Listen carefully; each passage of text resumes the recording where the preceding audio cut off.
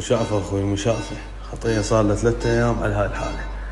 هاي مغذيات مغذي فوق مغذي. هاي علاجات عم الحمد لله والشكر. هسه وضعيته شوي أحسن من قبل. تحسنت شوي وضعيته.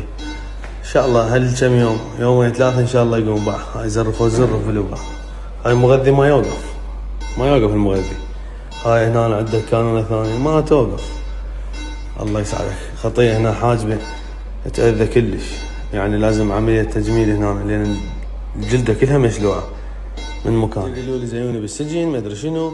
ما لكم علاقة بهذا الحكي؟ حوايب طبعا زيوني يعني وضعيته هسه تعبانه بالمستشفى. هسه إن شاء الله يومين ثلاثة ويقوم. زيوني ما له علاقة حتى يطب سجن.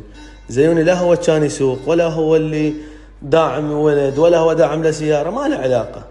زيوني ما له علاقة. على شنو ينسجن؟ الولد إذا صار اللي ادعى سوى الحادث بالتوقيف وزيوني هذا هو متاذي قدامكم وولدك توفي الله يرحمه يعني شو سوى كل من بيومه والله يعني يصبر أهله إن شاء الله.